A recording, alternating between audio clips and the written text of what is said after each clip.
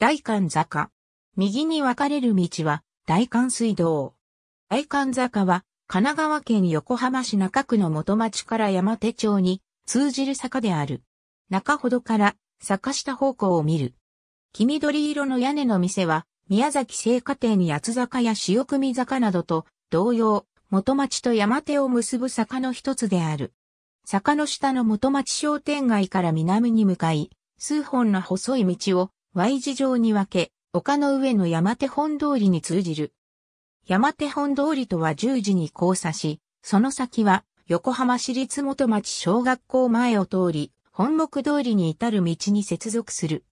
かつては元町から山手を越えて、上野町方面へ降りる道を美濃輪坂と呼んだが、現在では山手本通りの南側のみを美濃輪坂と呼ぶ。大観坂の中原で元町小学校前に抜けるトンネルが分かれる。この大観水道は一車線で、信号制御で交互通行となっている。トンネルが分かれる付近には、1946年創業のダンスホール、クリフサイドが立つ坂の途中にある1873年創業の宮崎製菓店は関東大震災後に建て直され、映画国立小坂からにも描かれた。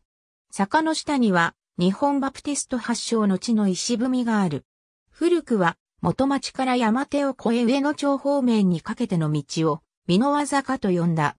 実の形のように丸くくぼんだ土地を意味するとも、北方村の地主の身の分けに由来するとも考えられているが、新編武蔵風土機構にも記述が見られずはっきり分かっていない。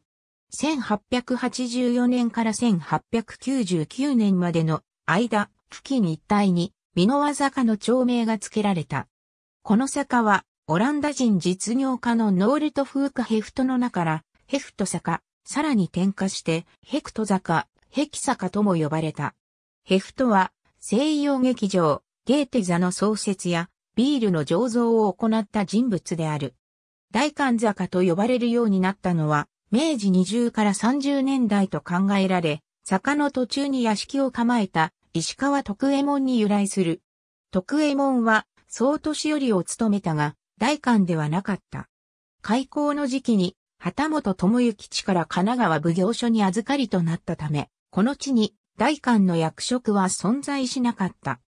徳右衛門が1854年、ペリー来航の際に応接し、その後も横浜の調整を司った有力者であることから、大官に相当するためとも考えられているが、はっきりとは分かっていない。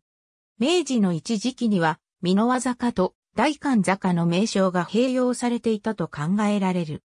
1932年には横浜市の失業救済事業として建設された大関水道が開通した。大関水道に関するカテゴリー、美濃輪坂に関するカテゴリー。ありがとうございます。